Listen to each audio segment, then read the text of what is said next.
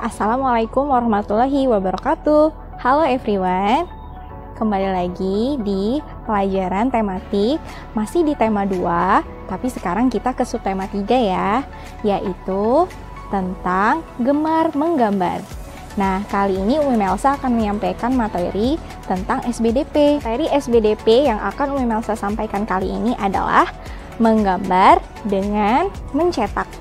Jadi kita menggambar, tapi dengan teknik mencetak. Kalian bisa menggunakan berbagai benda untuk menggambar dengan teknik mencetak.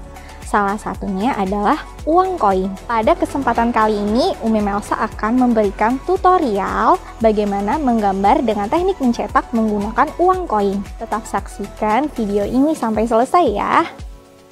Bahan yang kita butuhkan, uang koin 500-an yang warna kuning, seperti ini setelah itu uang koin 100 rupiah seperti ini yang warna putih ya. Selanjutnya uang koin 500 rupiah. Ini ada dua tipe ada yang belakangnya bergambar pahlawan dan burung garuda. Ada juga yang belakangnya bergambar garuda saja.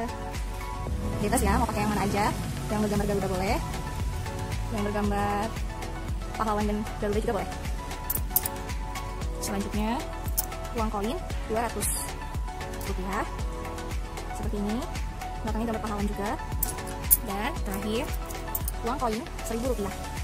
Yang seperti ini gambarnya pahlawan. Ada yang bergambar pahlawan ada juga yang bergambar angklung. Kalian bebas menggunakan yang mana saja. Setelah uang koin bahan yang kalian butuhkan adalah pensil. Kan yang satu A buku buku kalian dibuka halaman 133 ya nak. Di halaman 133 sudah tersedia kolom kosong. Ini untuk kalian nanti menggambar dengan mencetak dari uang koin. Jika sudah, silakan simak tutorialnya ya. Pertama, letakkan uang koin di balik kertas. Nah, setelah itu kita arsir pelan-pelan aja ya. Nah, setelah diarsir, maka gambar uang 100 akan keluar setelah itu kita balik dan kita arsir lagi. Nah, munculkan gambarnya? Lakukan pada uang koin yang selanjutnya ya nak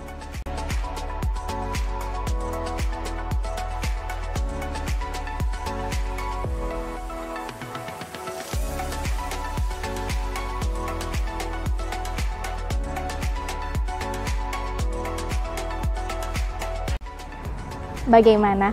Seru, mudah, dan asyik kan menggambar dengan teknik mencetak menggunakan uang koin? Nah, kalau sudah, silakan foto hasil karya kalian kemudian diupload di kolom penugasan pada Edmodo ya. Umi tunggu hasil karya kalian. Assalamualaikum.